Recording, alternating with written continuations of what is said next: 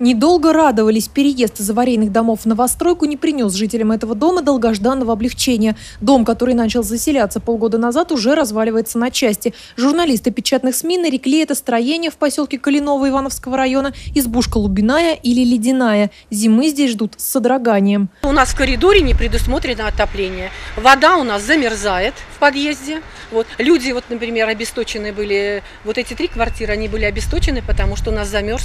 Вот сейчас мы вынуждены вынуждены поставить свои двери уже э, теплые, но это не дает гарантии, что у нас будет э, тепло в этом э, в подъезде.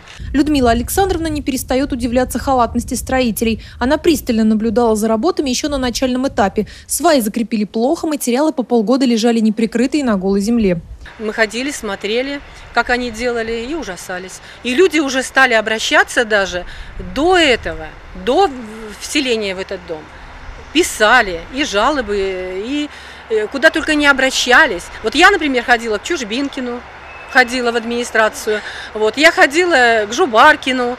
И тот, и другой на вопросы сейчас отвечают в другом месте. В прокуратуре о проблеме знают, регулярно пишут ответы. На застройщика заведено уголовное дело, он в розыске. Жителей судьба недобросовестного бизнесмена не интересует. В квартирах скапливаются килограммы переписки с властями и фото доказательства аварийности дома. У меня даже письмо есть, что я отказывалась переселяться в этот дом, а мне с Ивановской районной администрации написали, вы сначала давали согласие. Я сказала, я давала согласие в нормальный дом, а не вновь аварийный дом построенный. С аварийного в аварийный дом переезжать я не собираюсь. Они сказали, ну вас все равно снесут. В 30 квартирах живут переселенцы из аварийного жилья в Ивановском районе, из Зеленого городка, Лебяжьего луга, Стромихина и Озерного. Жители рассказывают, им предлагали приватизировать квартиры, обещали помочь, ускорить процесс, но желающих не нашлось. Мы прописаны в Коляново, живем в Коляново, а за найм мы муниципальное жилье. Почему-то платим свою администрацию в Озерновскую, вот мы с Озерного, почему-то платим в Озерновскую администрацию. Непонятно, почему такое. До сих пор дом мотается в воздухе. Никто его не принял. Анна недоумевала, откуда в новой квартире сквозняки, пока не нашла трещины в стене. Окно держится на честном слове. Женщина опасается, что пока на жильцов не обрушится этот дом, власти им не помогут. Дом вообще не утепленный, утеплителя никакого нет, и ребенок постоянно болеет, потому что везде сквозняк, везде щели, дыры. Приходили из прокуратуры, уже два раза сказали, вам все неполадки устранят.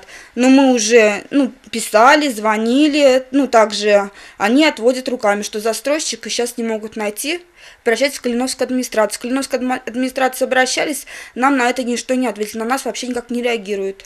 Отделочники любовно застелили полы в подъезде линолеумом. Зимой после уборки покрытие больше напоминает каток. Активисты движения «Народный фронт» провели исследование и выяснили, в регионе множество таких домов. Для них даже понятие ввели – новое аварийное жилье. Холод, плохая звукоизоляция, трещины на стенах, перепутанная электропроводка, постоянные отказы а, газовых приборов отопления, а, кривые стены, кривые полы. Как будет решена проблема и кто понесет ответственность за такое строительство, пока непонятно. В среду 6 августа в Доме национальности пройдет круглый стол на тему нового аварийного жилья. На нем встретятся несчастливые переселенцы и представители власти. Жильцы надеются, что их жалобы будут услышаны.